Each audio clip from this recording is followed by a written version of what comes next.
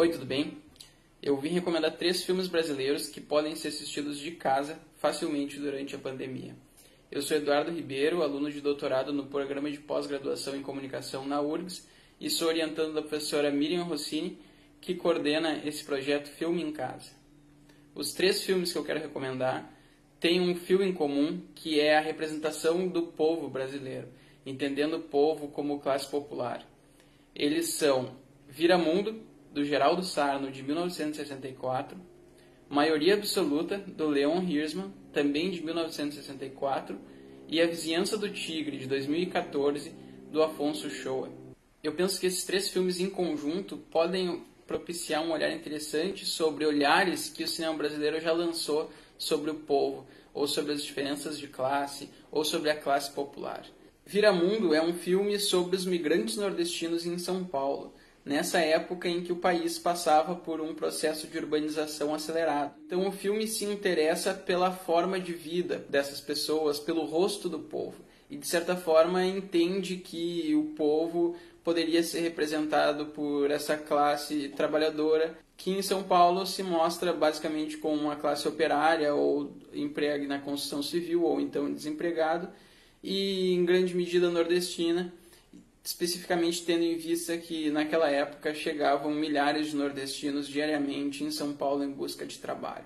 Então, eh, o filme é muito interessante pelas imagens que ele traz de um passado do Brasil e ao mesmo tempo ele é interessante de ser cotejado com o que a gente vive no presente momento e de se pensar o que mudou e o que não mudou nas nossas formas de viver, na, no rosto do nosso povo, nas apresentações das cidades e nos problemas sociais que a gente vê.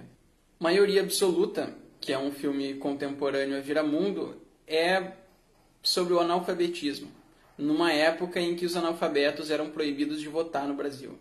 Mas ele se interessa principalmente por cortadores de cana no Nordeste. Nesse filme, cineastas cariocas vão para o interior do Recife falar com trabalhadores rurais da cana eh, e perguntar sobre as suas formas de vida.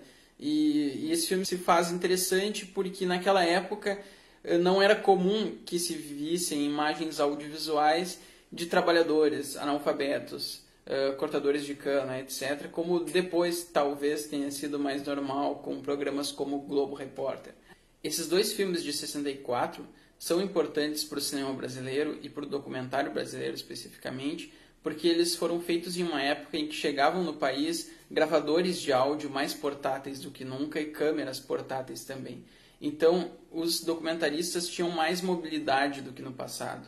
Eles podiam ir para lugares antes inacessíveis, como o sertão nordestino ou as favelas, e gravar com maior espontaneidade, né, com maior leveza e, de certa forma, com maior fidelidade ao acontecimento, já que eles podiam ir com equipes reduzidas e sem tanto equipamento, o que interferia menos uh, no cotidiano que ia aparecer na tela. O terceiro filme que eu quero indicar se passa em Contagem, em Minas Gerais, que é a vizinhança do Tigre. E ele fala sobre uma série de rapazes dessa periferia e sobre as suas formas de vida cotidiana, sobre coisas que eles fazem. Uh, o documentarista passa alguns meses na companhia desses rapazes e filma coisas do seu dia a dia. O Afonso Shoa, que dirigiu A Vizinhança do Tigre, recentemente dirigiu Arábia e esse filme tem sido bastante comentado.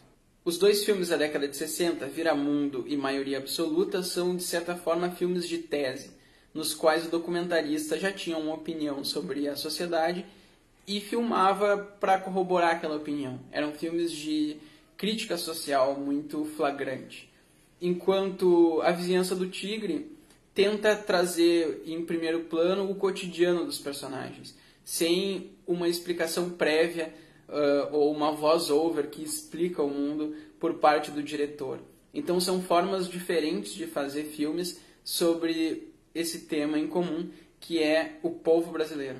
As mudanças nos olhares propiciados por esses filmes também são influenciadas por transformações tecnológicas. Isso faz com que o filme do Afonso Shoa, bastante mais contemporâneo que Viramundo, maioria absoluta, consiga despender de mais material bruto. Se na década de 60 os cineastas precisavam de filme para filmar e, portanto, eles tinham as tomadas contadas, hoje em dia com a tecnologia digital é muito mais fácil do cineasta filmar bastante e isso propicia outras formas de corte, outras formas de filmagem, outras formas de uso da câmera e resulta em filmes diferentes. Os três filmes são acessíveis via YouTube, uh, dentre diversos outros filmes brasileiros que se pode encontrar lá. Então é isso, boa quarentena a todos.